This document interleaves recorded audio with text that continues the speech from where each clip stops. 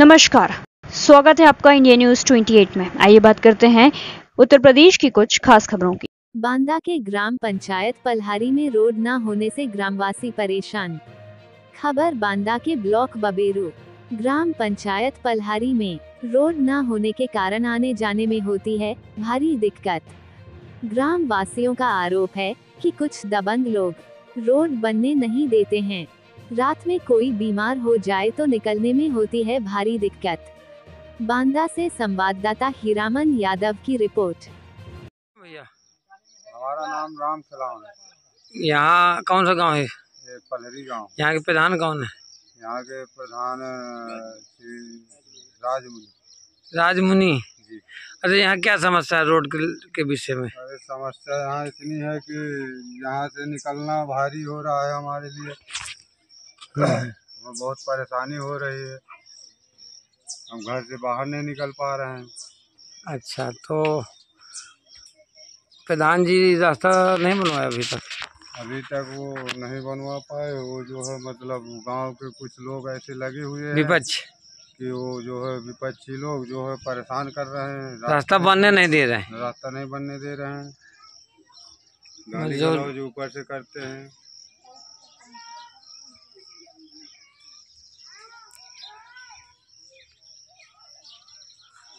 पंद्रह दिन से अरे बुखार में आप आई जी नहीं। बस। माताराम क्या नाम है आपका? राम रती कौन सा गाँव है?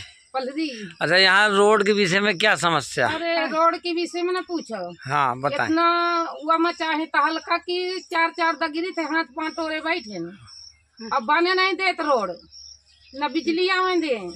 अच्छा यहाँ नाली हुई की क्या नहीं नाली बनी नहीं बने देती यहाँ अच्छा तो अभी तक प्रधान सचिव से आपने कुछ अवगत कराया कि सरकार तक वो पहुँचाए डीएम अधिकारी तक कि ये समस्याएँ हैं कि साहब हमारा रोड नहीं बनने देते गाँव के लोग दबंग लोग।